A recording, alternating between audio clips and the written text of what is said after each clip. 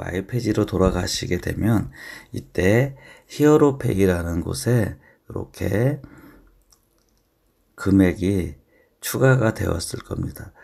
1일 알바를 하게 되면 만페이가 기본이 됩니다. 만페이.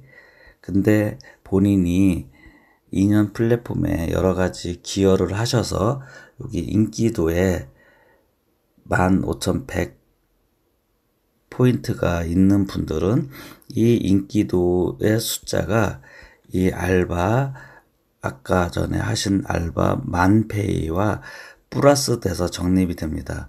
그러면 이 인기도를 어떻게 올리는지는 해당 공지사항에 가보시면 여러 가지 행위로 인해서 이렇게 인기도라든가 다양한 혜택이 주어집니다.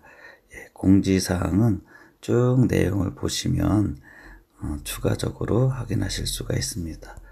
이렇게 알바를 마치셨을 때 본인이 적립하신 이 히어로 페이는 히어로몰이라는 쇼핑몰에서 이용하실 수가 있습니다. 이 히어로몰 이용하는 것은 다음 시간에 다시 알려드리도록 하겠습니다.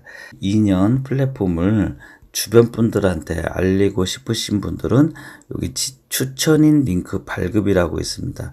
요거를 클릭을 하시게 되면 여기 주소 복사를 하신 후 이 복사된 주소를 카톡이나 문자에 보내시면 됩니다. 트위터나 페이스북이 클릭을 하셔서 이렇게 트윗을 바로 날리시면 이때 본인의 아이디가 자동으로 이렇게 2년 플랫폼 링크 주소에 추가가 되어 이 주소를 클릭하고 가입하신 분들은 본인의 아이디가 자동으로 추천이 됩니다.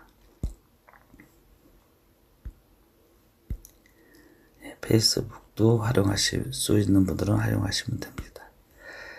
이런 식으로 2년 플랫폼 사용하는 방법 중에서 온라인 알바와 추천인 추천하는 방식을 알려드렸습니다.